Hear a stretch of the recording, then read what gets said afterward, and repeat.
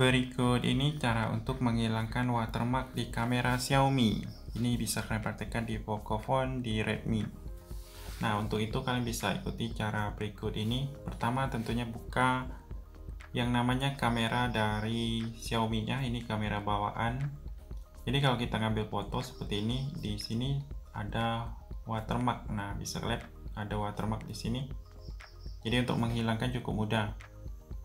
Kalian bisa pilih icon tiga garis yang ada di sudut kanan atas yang ini. Pilih yang namanya setelan. Kemudian kalian lihat di sini ada watermark. Silahkan dipilih. Nah yang kalian ingin hilangkan apakah watermark perangkat atau tanggal dan waktu? Silahkan dimatikan saja. Lalu cek hasilnya. Biasanya kalau sudah kita matikan nah di sini sudah tidak ada watermark bersih dari tanda air itu saja silakan dicoba semoga bermanfaat.